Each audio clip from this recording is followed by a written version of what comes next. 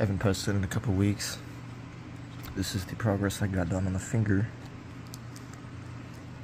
I've been working on this uh, other project I'll post a video on when it's done.